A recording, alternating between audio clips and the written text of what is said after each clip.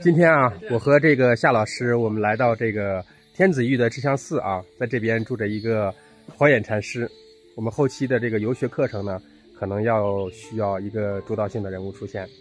我们要请这个怀远禅师出山了。希望让让怀远老师讲这个。然后我是两千年去的广州，嗯然后在广州呢，呃，搞的咨询公司，嗯跟企业做的，物极必反，所以我在某种状态下我破了，破了以后，新的世界就打开了。但这种障碍的话，存在于大多数。很多人认为，就是我走到这个里面来才是对的，然后想要突破去呢，可能会因为某些人的这个一些言语观念，然后束缚着自己，就感觉好像很多人修了半天呢，最终还是被人别人的思想或被圣圣贤的思想所这个束缚。您认为这个圣贤，或者说某些这个我们认为的一些他行为举止，或者说是他的道德比较高尚的人，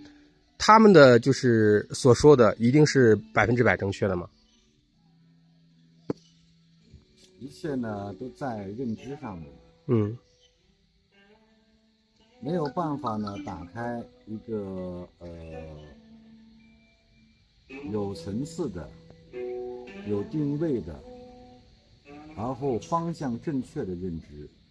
那我们只会捕风捉影啊，追云逐月。那这个呢，其实是正常的，因为我们没有打开那个认知。嗯所以我们呢啊追名相，追成就的人，啊，追他们的这一些的话呢所呈现出来的能听懂的认知，啊，断章取义的去寻找一些啊认同，或者说啊去得到一些呢这个认可，这个呢过程呢是正常反应，是因为他没有打开一个正确的认知。如果你打开了正确的认知，你看圣贤的东西，读圣贤的经典，无论是儒释道哪一家，啊，你跟哪一哪一家哪一哪一哪一本经，哪一哪一个哪一篇文章，能产生的话呢，这种信息对接，由于你看的眼光和你认知的这个层不一样，它的解读就不一样，它带带给你的那个的话呢，呃，灵感。和带给你的能量信息就不一样，所以最重要还是在这一点。嗯人嘛，都是往上走的，都是想让自己呢成长，想让自己呢解开生命的困扰。这是这是一个正常的体系，但问题是在生长的过程呢，它没有得到正确的指引，没有正确指引，方向错了，用的劲再大。第一步的脚步迈出去，那个方向都是错的，你用的劲更大，你跑的就更远，你丢的就更远。所以跑那么快，方向都错了，你到底要干嘛？嗯地球虽然是圆的，跑得快可以转一圈回来，还可以回到原点，但是呢，可能是物是人非了，可能因缘错过了。嗯。那您认为这个因缘的这件事情的话，它是被注定的，还是我们做某一件事情的话，跟自己的主观意识？首先，你这个注定和主观意识就是一个的话呢，呃，怎么说呢？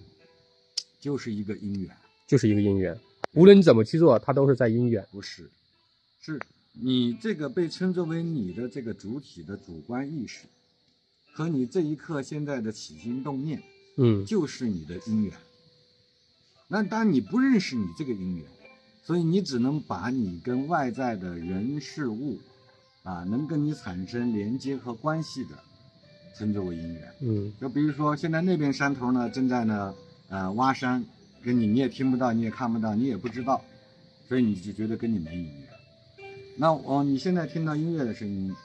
啊，看到我们对面坐在这里，然后看到的、听到的、感受到的，啊，这一切呢，就是你连接的因缘。而我们人呢，重点他是没有认识自己这一刻，你在这一个地方，跟在那个地方的你是完全一样的，你其实就是你自己的因缘。你这一刻的状态和起心动念和你能听能看的功能，就是你的因缘。因有这样的一个因，所以才能结到外面这些缘。嗯而我们呢，我们是说，把这些当下的这些因和缘忽略了。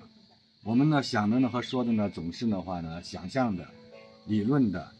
或者说的话呢，呃，我们所要谈论的，啊，后面的、外面的那些因缘。嗯。所以一个人他没有办法呢，在当下，他其实他所说的因缘，嗯。其实都成了自己呢所去发射、吸引和投射的。能发能发生的东西就是投射来的，就是吸引来的，甚至自己呢不知不觉呢设计来的，嗯就这样。